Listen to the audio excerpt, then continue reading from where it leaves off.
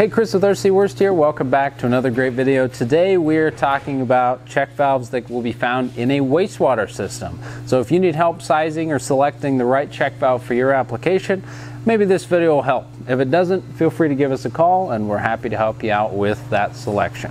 So I've got a few different check valves in front of me here. This would be a ball check valve. We have a flapper style check valve.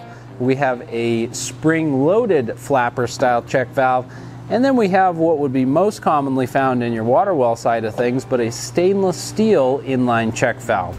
And uh, this one particularly, so we'll start with this one. The reason that stainless steel check valves are becoming more commonplace in wastewater is we're getting more and more high head effluent systems out there specifically for uh, on-site treatment of effluent, whether it's pushing high pressure into a drain field, etc., etc. So these check valves are much more suitable for those style of pumps, typically those high head pumps. Look just like a well pump, or they are a well pump, just with a different name to them.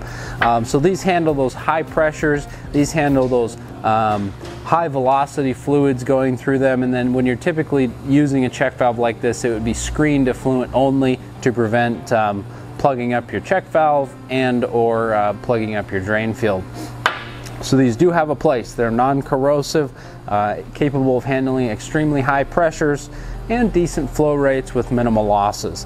Uh, another one here is this is the flapper style, actually it's a true union uh, flapper style spring assisted. So you can see when I shake this, you don't hear a flapper. I guess I should shake it next to the mic. Whereas the non-spring assisted just kind of flaps around in there. And that's because if this is mounted in a vertical position, gravity is just going to have it falling down and closing naturally, so there's no real need to add more parts that could potentially fail. Now, spring assisted check valves, they can be mounted both vertically and horizontally, and actually, interestingly enough, these can be mounted uh, horizontally as well, but you have to pay attention to uh, this end up. That way, it's, it's hanging in the proper uh, orientation so that it will close naturally. Um, but with the spring assisted, they just basically have a tiny little spring, and you may or may not be able to see it in there that uh, assists in closing this valve by giving it some additional leverage or some additional force. Uh, so these certainly have their place out there, but more commonly they're installed in places where they have to be mounted horizontally as opposed to vertically and they won't be assisted by that action, but they want to ensure a quick closing. And that's the biggest priority with the spring assisted is, is closing it as quickly as possible.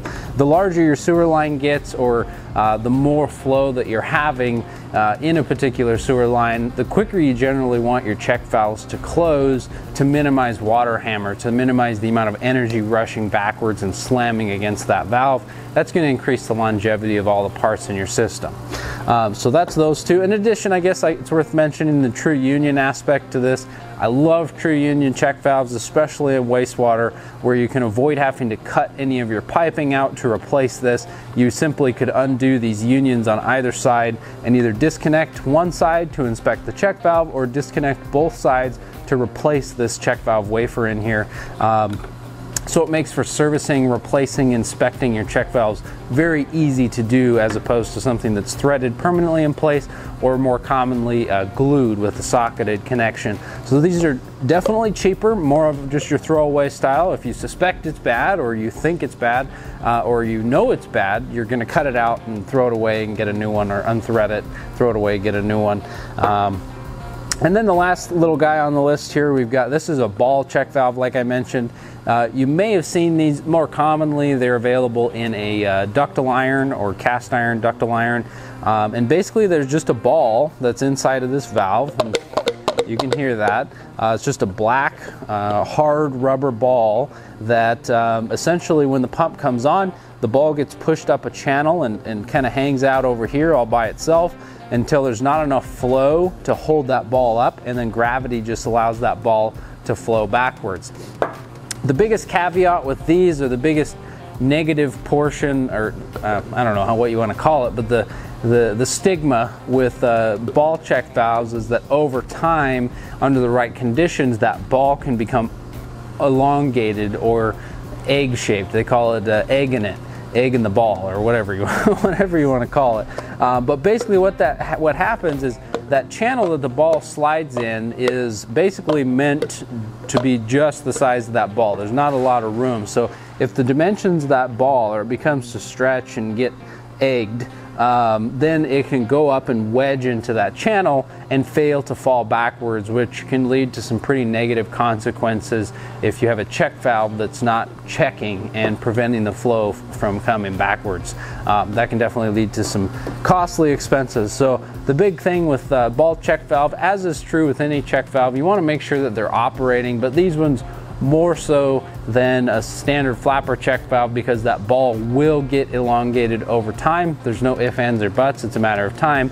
And then a person just simply needs to replace that ball um, on a fairly regular basis, whether that be annually or once every few years. It just depends on your system and it's going to require some inspections to get an idea of what the status of that ball is. I think that flapper check valves tend to more often than not uh, fail with the flapper detaching, and that's usually from high velocity situations um, where the where eventually it just tears that flapper free.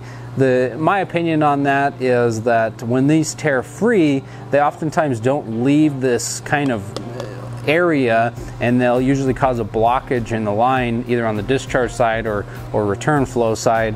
And they'll oftentimes result in a high water level which is going to alert you that you've got an issue and the issue this problem can be addressed.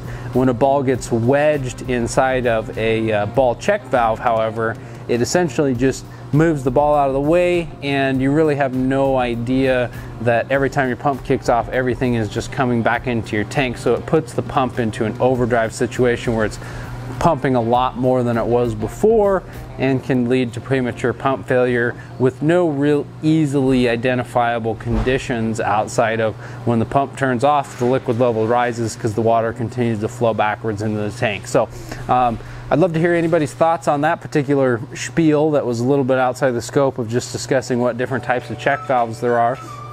Um, so hopefully you learned something from this. Hopefully this helped you in identifying what check valve might be right for your application. Don't forget to leave those comments below.